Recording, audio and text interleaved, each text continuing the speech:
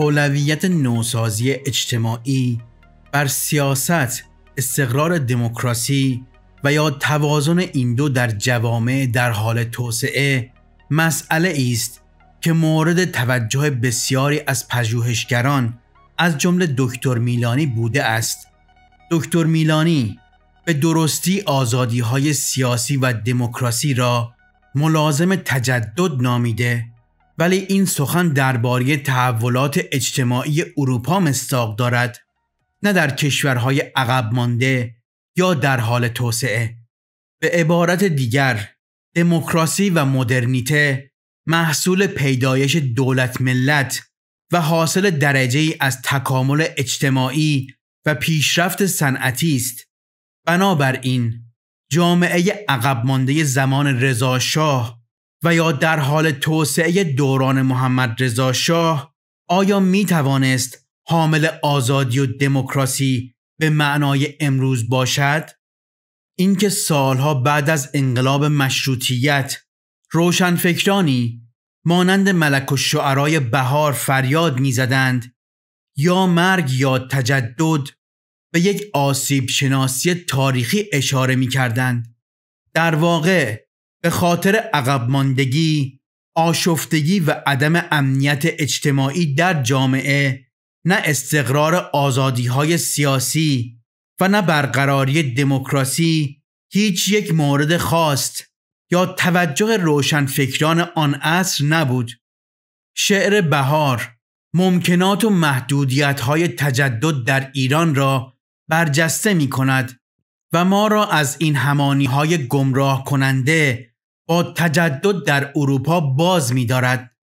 اینکه برخی پژوهشگران از تجدد ایرانی یا مشروطه ایرانی یاد می کنند ناظر بر تفاوتها و محدودیتهای تاریخی ایران با جوامع غربی است. شعر بهار ضمن اینکه شرایط اجتماعی سیاسی ظهور رضا شاه را نشان می دهد گویی که از شرایط ناگوار ایران امروزه سخن می گوید ویرانه است کشور ایران. ویرانه را بها و سمن نیست. امروز حال ملک خراب است. بر من مجال شبهت و زن نیست. اخلاق مرد و زن همه فاسد. جز مفسدت به سر و علن نیست. خیشی میان پور و پدر نه یاری میان شوهر و زن نیست. بیدادها کنند و کسی را یک دم مجال داد زدن نیست. هر سو سپه کشند و رعیت ایمن به کوه و دشت و دمن نیست.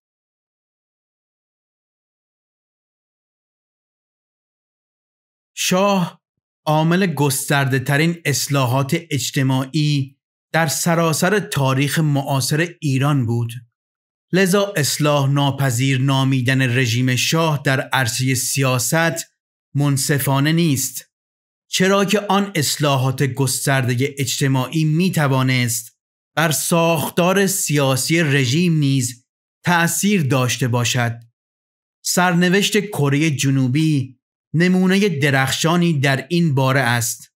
شاه حزب سالهای 1320 تا 1332 را دیده بود و آن را باعث هرج و مرج اجتماعی و آشفتگی های سیاسی می دانست. او به دموکراسی های غربی بدبین بود و جامعه ایران را فاقد ملزومات استقرار دموکراسی می دانست و لذا به نوعی دموکراسی هدایت شده اعتقاد داشت. چنین دیدگاهی تنها مختص به شاه نبود بلکه عموم روشنفکران آن زمان نیز دارای چنان نگاه و نظری بودند. مثلا معروفترین و تأثیر گذارترین روشنفکران آن دوران جلال آل احمد ضمن نفی و تحقیر دموکراسی های غربی معتقد بود. ما نمی توانیم از دموکراسی غربی سرمشق بگیریم. احزاب و سازمان های سیاسی در کشورهای غربی منبرهایی هستند برای تظاهرات مالی خولیا آمیز آدمهای نامتعادل و بیمارگونه. علی شریعتی نیز می گفت آزادی، دموکراسی و لیبرالیزم غربی چونان هجاب اسمت به چهره فاحشه است. شریعتی با توجه به بیسوادی و فقدان آگاهی سیاسی جامعه می گفت رعایت آزادی و دموکراسی در چنین جامعه ای نه تنها معقول و منطقی نیست بلکه حتی خطرناک و ضد انقلابی است. چرا که اصل حکومت دموکراسی برخلاف تقدس شورانگیزی که این کلمه دارد با اصل تغییر و پیشرفت انقلابی و رهبری فکری یعنی ولایت و امامت مقایر است. بنابراین به نظر شریعتی رهبر انقلاب و بنیانگذار مکتب حق ندارد دچار وسوسه لیبرالیسم غربی شود و انقلاب را به دموکراسی رأسها یعنی الاغها مساوی با مردم بی سواد آمی بسپارد. او هرگز سرنوشت انقلاب را به دست لرزان دموکراسی نمی سپارد حتی علا رقم شماره آرا. دکتر ناصر زرفشان حقوقدان معروف نیز در سال 1357 معتقد بود حقوق بشر و دموکراسی غربی فریب است. نمی‌توان در شعار حقوق بشر غرب صداقتی سراغ کرد خطابه های پرتمطراق مبلغین حقوق بشر وقتی از آزادی های دموکراتیک و حق بیان عقاید و نظرات فرد صحبت می کنند تنین ریاکارانه ای پیدا می کند. برخی مبارزان سیاسی نیز بدون کمترین شناختی از تحولات اجتماعی ایران در سودای استقرار دموکراسی دهقانی از نوع پلپوت در کامبوج بودند. با چنان درک نازلی از آزادی، دموکراسی و حقوق بشر در میان روشنفکران ایران شاه معتقد بود اگر بپذیریم که تنها راه تحقق یک دموکراسی راستین وجود یک اقتصاد سالم و تواناست باید الزاما قبول کنیم که کشورهای در حال توسعه ناگزیرند که برای نیل به دموکراسی ابتدا همه نیروها و منابع و امکانات خود را برای ایجاد زیربنای اقتصادی لازم تجهیز نمایند. در روزگار ما استقلال سیاسی بدون یک اقتصاد توانا مفهومی ندارد. توسعه اقتصادی شرط لازم و واجب تحقق دموکراسی سیاسی و نیل به ترقی اجتماعی است رویدادهای پس از انقلاب اسلامی نشان داد که کدام یک از طرحها و تئوری های بالا برای تجدد و توسعه ملی در ایران مفید بود. میلانی تشکیل حزب رستاخیز را شبه توتالیتاریزم نامیده و آن را عاملی در فرایند شگفتانگیز سقوط شاه دانسته است. فرایند سقوط شاه شگفتانگیز بود اما نه به خاطر حزب رستاخیز یا انصداد سیاسی رژیم شاه چرا که در آن هنگام رژیم های توتالیتر یا دیکتاتوری در اسپانیا، شیلی، پرتغال، کره جنوبی، اندونزی، آرژانتین و غیره خشنتر و گسترده تر بودند ولی هیچ انقلابی در آن کشورها صورت نگرفته بود.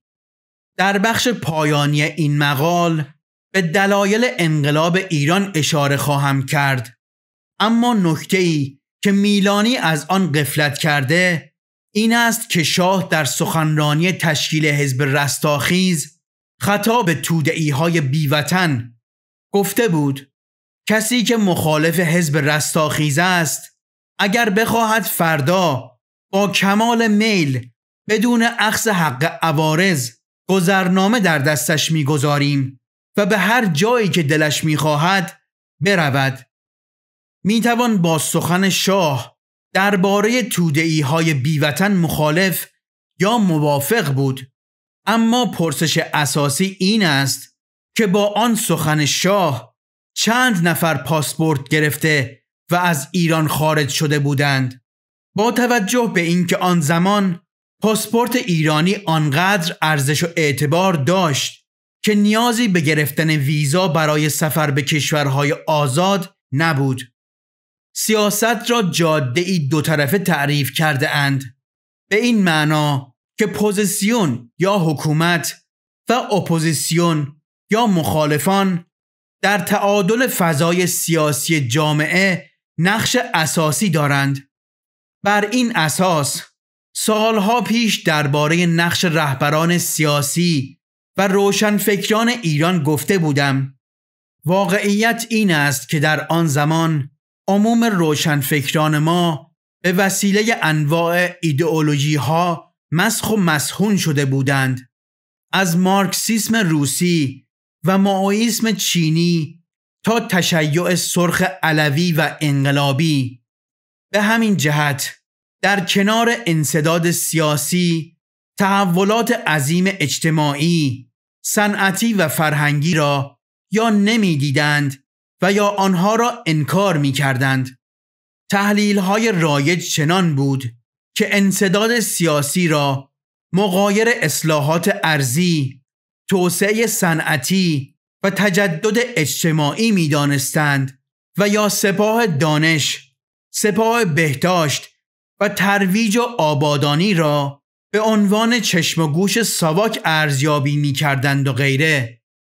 جبهه ملی نیز که در برابر اصلاحات اجتماعی شاه حرف یا طرحی نداشت به قول خلیل ملکی با نوعی تنزه طلبی و عافیت جویی شعار می‌داد. اصلاحات آری دیکتاتوری نه. در واقع این سخن درست افلاتون به وسیله رهبران سیاسی و روشنفکران آن دوران ناشنیده ماند. ای فرزانگان اگر شما از حکومت دوری کنید گروهی ناپاک آن را اشغال خواهند کرد. آنان با تشکیل نوعی جبهه امتناع هم جامعه و هم رژیم شاه را از داشتن روشنفکران هدایتگر محروم کردند. هرچند فرزانگانی بودند که با ورود به دستگاه های دولتی کوشیده بودند تا در تعالی و بهبود اصلاحات اجتماعی شاه مشارکت کنند. مانند داریوش همایون فیروز شیروانلو پرویز نیکخواه کوروش لاشایی چنگیز پهلوان و غیره.